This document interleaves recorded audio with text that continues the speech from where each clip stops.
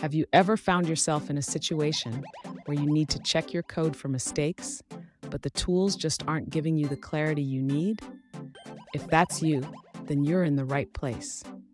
Today, we're diving into how to make Git's add command show changes like the diff command with word differences. I totally get it.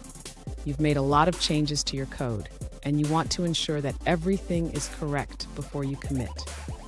It's frustrating when you can't see the specific changes clearly. You're definitely not alone in this struggle.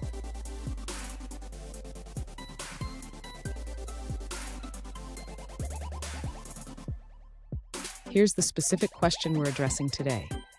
One user asked if they could make the command git add-p show changes in the same way that git diff-word diff does. They want to see only the changed words instead of the entire line. Sound familiar? Let's explore this together. So, why is this important? When you replace words in your code, it can be easy to miss false replacements. Having a clear view of what has changed at the word level can save you from potential bugs and headaches down the line. Let's break down how to achieve this. And stick around.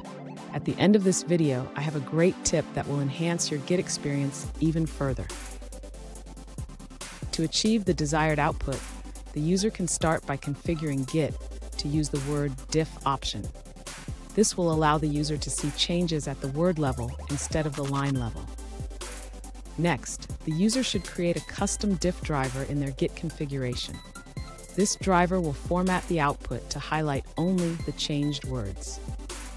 Now, the user can use the git add command with the patch option this will allow them to review changes interactively, showing the word level differences.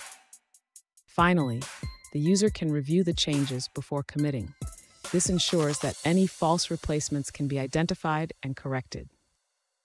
Fun fact Did you know that Git was created by Linus Torvalds in 2005? It was designed to handle everything from small to very large projects with speed and efficiency.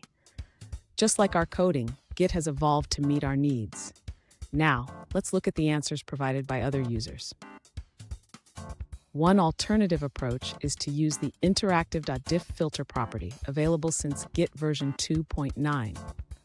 This allows you to customize how diffs are displayed during interactive staging. However, be cautious. Since Git version 2.17, using this command directly with git add p may result in an error message about mismatched output. To avoid this issue, it's safer to use a script for the interactive.diff filter setting. That's all for that response. Let's see what someone else had to say. One alternative solution is to add diff highlight to the interactive.diff filter configuration. This method is simple and works since Git version 2.9. You can do this by running a specific command on Debian or Ubuntu. Here's the tip I promised consider creating a git alias for this command. It can save you time and make your workflow smoother. Just type git config global alias.worddiff diff word diff to set it up. And there you have it. You now know how to make Git's add command show changes like the diff command with word differences. Remember, customizing your tools can greatly enhance your coding experience.